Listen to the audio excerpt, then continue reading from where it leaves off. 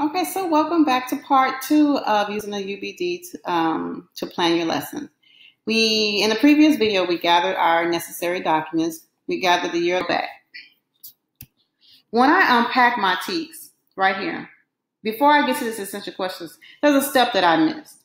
If you have a STAAR release question, if you have a uh, teaching a content that ha- is a is a STAAR or EOC tested area, once you unpack that TEKS, you need to stop what you're doing and go to the release test.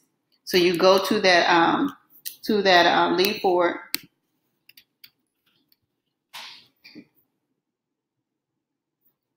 Go to resources, and at the top, go to IQ. And you put in those specific information.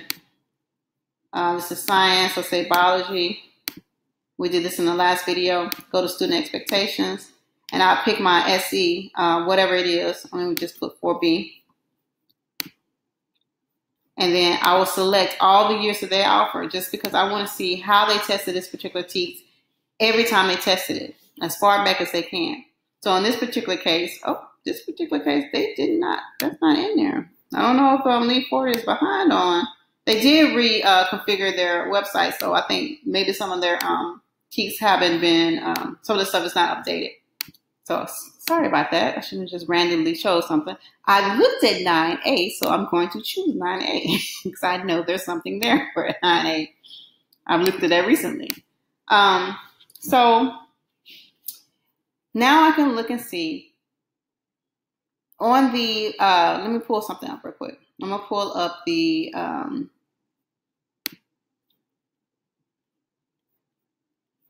the uh, snapshot. And I want to look at what 9A actually says. Here it says that 9A, 9A for biology, the students will compare the functions of different types of biomolecules, including carbohydrates, lipids, proteins, and nucleic acids. So they're expected to compare, that's my verb. And the, what are they comparing? The functions of different types of biomolecules. And what's the context dealing with carbohydrates, lipids, proteins, and nucleic acids? Okay. Now, that's great. That's pretty good. But how does that look on a test? This is why uh, the release test questions is very important because now I can see exactly how they've been tested. So I'm just going to kind of glance through this real quick. So here's one question. Here's another one. Oh, there's a graphic. It actually shows the structure. And here, oh, here's a chart. Oh, here is a, um, well, I guess it would be a table if you connected these things in table form. This one, this is the second one that doesn't have any kind of visual. Oh, here goes another visual. Ah, here goes another visual. This one doesn't have it. So it's three so far with no visual. Four so far with no visual. Five, six. Here's another visual. So what I've discovered is that um, six of the problems are all the problems they've done in the last few years. Only six of them did not have a visual. So that means that um, when I construct my lessons and construct my questions, a good portion of the, the questions need to have, or the lesson needs to have some kind of graphic. I noticed that. And then I can go and I can look at the um, actual test question and see how they're asking them. When they say compare, well, how are they expecting them to compare them? I can read that and, and, and actually analyze it, break down the question. I can go over here and look and see um, how the, the students within the state of Texas fared on that particular question. The um, correct answer is marked with a star. I can see, oh, 78% of the got, got it right. And this incorporates a process skill also, in addition to uh, it being a readiness um, standard. And I look at each one of those things. This is another one. The second question has a processing standard. So both the first two have processing standard. Oh, there's another with a processing standard. And there, oh, nope. I was going to say another one. So, so far, three out of four of the questions not only had the red, not only had the, um, the, um, S, had a regular SE, but it also tested a processing standard. So as I go and look at these questions, I can see how they ask them about this particular piece, how they're questioned. This is invaluable, and it's not a step that should be missed or should be skipped. The only people who are somewhat disadvantaged are the teachers who do not, who are not in a tested area, because what you will need to do is probably pull other common assessments that they've done uh, that um, they've been given previous years Some of them you made them, some of them were made by the district. So see if you can get a hold of some of the release questions to see how this particular TEKS is tested. That's a math form. Now, let's go down to the actual document. what I would do is I would um, go to Schoology and I'll um, download the UBD, and then I would actually place it in a Google document as a Google document. And the reason why is because I think that when you're working on this, everyone who is um, who is in the room needs to be in this document.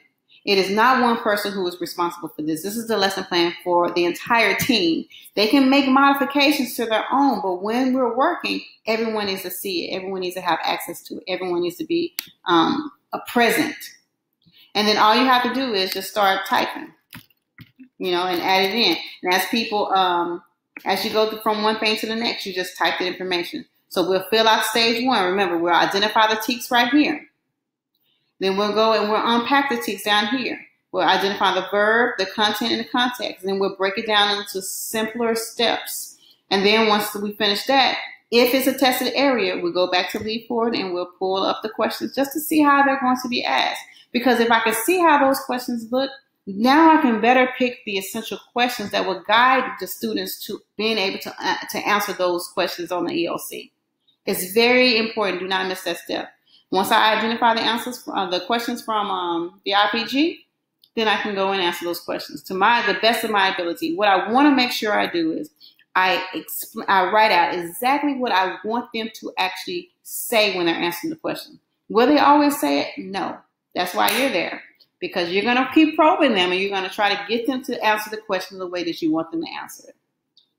So once you do that, you're going to go and identify some products. Remember, or some formative assessments. Remember, you can go into the IPG. It has a lot of examples available to you. So do not, um, somebody sat down and worked on that and they got paid for that. So make sure you utilize that because it is a tool that is very helpful um, and it should be helpful. Once you do that, now you can go back and, and, um, and you can relate it to real life. Put that information here. What can, what is, where does this uh, appear in real life? Um, and then create your PBL and identify all the pieces of the PBL. Um, it's a lot of information, but it is not meant to be done solo. So utilize your team. The last thing that you do is what we're used to being uh, seeing as a lesson plan. Stage three is your day to day. So I've already kind of uh, outlined. I've used the UBD, which is the understanding by design, which is black backwards um, um, planning. I've come up with the final product. This is what the TEKS this is my beginning. My final product is my end. And now I'm going to try to piece everything together and break it down so that I can meet, I can make sure that the students are meeting that goal at the end. Everything I do is to make sure that they meet that goal. And that's where this comes into place. Now, if by chance this is uh, going to take more than one week, you can always copy this and, and paste another week on there. In fact, I would suggest you do this. Don't try to do a different form every week if you're covering basically the same concept or the same um, unit. And then the way that it's situated here is all we're asking for is um, you to identify your lesson plan frame. So what are you planning on modeling? What are you planning on um, to modeling to the students or doing directly teaching to the students? What are you what are you gonna what are you doing to introduce this or to um, introduce information? That's what you put right here or for I do. What we do is this is you guiding the students in doing something. Right here, you're doing a lot of it. You don't want to you don't want to stay in this area too long. Now, what are you doing with the students? What are they actually having to do with your guidance? And after you've identified that, what are you doing having them do independently or within groups? Okay? Collaboratively and or independently. I would say all of these need to be done in a day. I do, we do, you do, but the you do needs to be split up into something that they do with a partner or a group, but then something they do independently so that you can check for their understanding. Um, if you had homework, you put it right here. But that's pretty much all that you need to have in your lesson plan. Can you put more in here? Yes. Because you may hit a whole bunch of stuff. Like I have a, I always put an agenda in my lesson plan because that keeps me organized. So I may end up talking about uh, add my bell ringer in there, which is not necessarily an I do, we do, or you do. Or I may add um, some, something else I have to review, which is not necessarily in this framed lesson. But I add it in there because it helps me to stay organized. This, once you do it as a team, if you do your I do, we do, and you do as a team, you can always go back and modify it if you have some changes within your classroom. In fact, you need to make sure that everything is personalized. The stage one and stage two pretty much will be the same because you're planning as a team. You may have a few more products that um, that here than somebody else because you just want to make sure you incorporate this product. But for the most part, all this other stuff is going to be the same. So uh, make sure that once you guys have um, filled this out, that the that your parties, this is what's shared to your appraiser uh, and your uh, coach or coordinator. But each member needs to make a copy of this so that they can make uh, personalize it and then upload it to their uh, Eduphoria um, forethought. Um, hopefully this helps. I mean, it was a it's extensive, but these are the um, every every one of these things that's on here is is of value. So please don't cheat and um, and skipping any sections because if you skip the sections, you'll see that some things maybe may fall through the cracks. You want to make sure that you always I know what the end looks like, and and the end is predicated off of the TEKS. So that's the beginning, and then is this in here, the meat of it that can sometimes get a little foggy also. So um, that's the ending of. Um, well, hold on. Let's review. let's review our uh, stages. So our stage one is identifying your TEKS. Start there. That's what we start with. You then unpack it and you examine those release questions if you are in a tested area. And then you determine your essential questions. You go back into the IPG, just grab them, um, grab some questions there that lend to the way that they're, going to be tested, that will guide them to this. Um, can you make up your own questions? By all means, you can make everything up if you want to. But we want to make sure we work smarter, not harder, because, um, you know, the job of a teacher is exhaustive. I'm using that word a lot, but it's because it's, it's applicable. Um, and you want to answer those essential questions. Now, for stage two, you want to identify the products that could be used um, to check for understanding and any types of uh, activities that formative assessments that you can that you plan to use.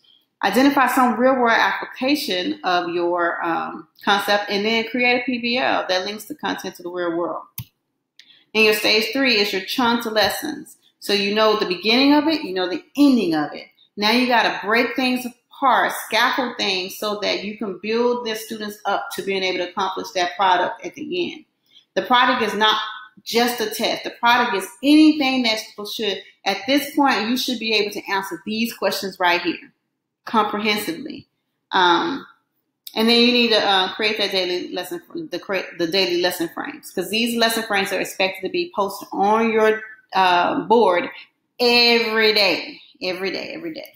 Just lets the students know from the get go we have stuff to do. We come in here and we work, and it lets any visitor coming in know this is a working class. Okay, so that seems to be a very long um, uh, training. So I, what I will do is I'm going to make one more part, and this third part will be the part where we actually create the lesson itself. So until then, thank you very much.